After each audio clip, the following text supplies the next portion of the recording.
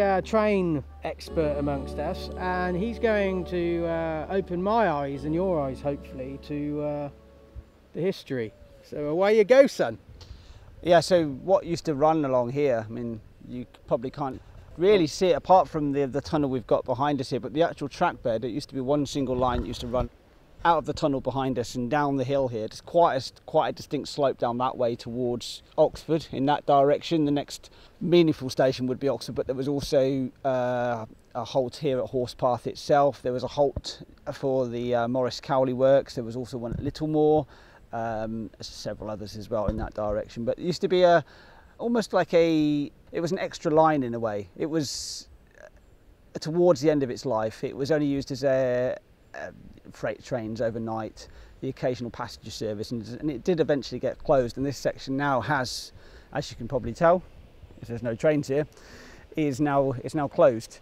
Uh, the only part of the line now is still open. If you go a bit further down here, you get to the BMW mini plant, and that is where the line now ends because BMW still use that, that part of the line to transport, transport their own cars. So that is a little bit of the history about this line, really. William's got an interesting view though on uh, building new railway lines and potentially is better than, for the environment than cars. Do you want to tell me more about that? Yeah, I think it's all. It's not just a matter of building it. I mean, actually building anything is going to have some impact on, on the environment. I mean, these days they, the impact is less as lessened as possible. You know, you want to be as green as possible when you're building something. It's more when the actual thing is built. A road will be continuously used, so there's continuous pollution, localized pollution, be it actual air pollution or noise pollution.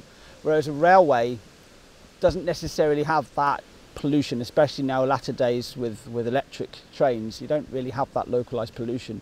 It also doesn't seem to form the same barrier as a road does for nature. A road can really form a very much a a barrier, a line in the sand, as it were, so you can't actually. Animals will refuse to cross it because, of course, they they get killed if they get hit by a, on a very busy road. Whereas a railway can often act as a green corridor. I mean, this disused railway here actually is obviously a green corridor, but even active railways, even the most active railways in the countryside, will still act as, a, as, a, as some form of green corridor. I know the railway through Oxford does do that. I have seen many creatures and many animals in my time walking around the railways in Oxford, really.